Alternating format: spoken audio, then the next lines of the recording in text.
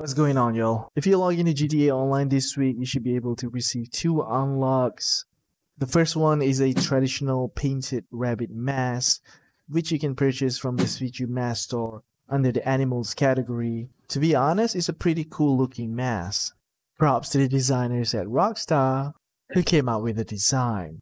Next, if you head over to any tattoo shop under the chest category, you guys should be able to unlock all the animals associated with the Chinese Lunar New Year. However, they come with a hefty 30,000 price tag for each of the tattoos. If you guys don't need it, you don't have to get them. The newly released tattoo that you can get for free is the Rabbit Tattoo, which looks pretty great.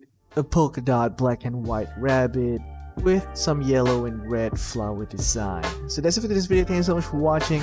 Be sure to hit that subscribe for more future GTA videos. This is Joe and I'll see you next time.